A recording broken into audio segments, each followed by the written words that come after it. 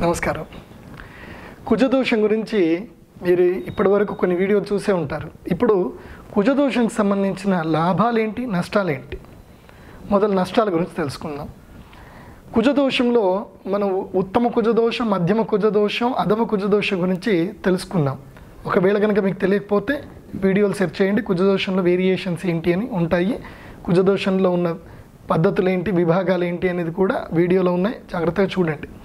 ఇప్పుడు కుజదోషంలో ఉన్న నష్టాలు ఏంటి కుజదోషం అంటే కుజుని యొక్క తత్వం ఏంటంటే గొడవపడే తత్వమే. కాబట్టి జాతకంలో అధమ స్థానంలో కుజుడు ఉన్నాడే అనుకోండి. అలా కుజుడు ఉన్నప్పుడు వాళ్ళకి విపరీతమైనటువంటి కోపము దాన్ని క్షుద్ర కోపం అంటారు. ఆ కోపం వల్ల అందరికీ గొడవలు పెట్టడము వాళ్ళకి వీళ్ళకి తగాదాలు పెట్టడము లేదంటే వీళ్ళు వెళ్ళి అనవసరం విషయాలు గొడవ పెట్టుకోవడము ఈ విధంగా ఒక తత్వం ఉంటుంది.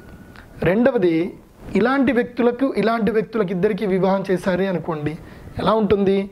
ఇద్దరూ గొడవ పెట్టుకుంటారు.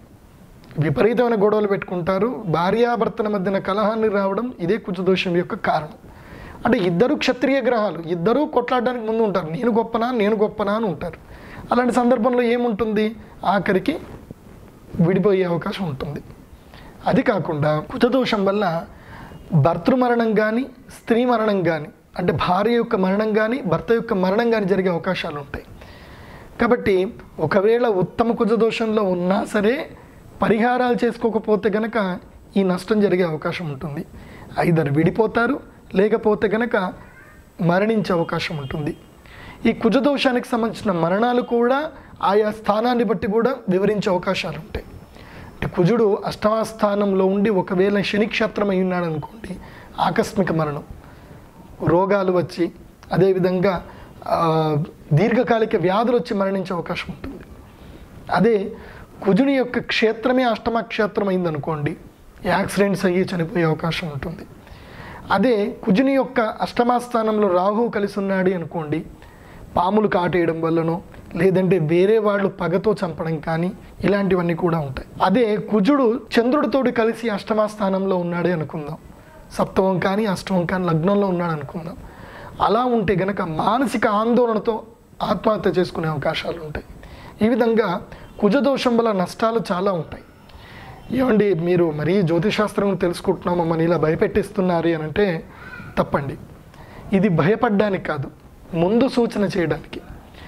జ్యోతిష్ శాస్త్రము ఇతరుల్ని భయపెట్టడానికి తయారు చేసింది కాదు.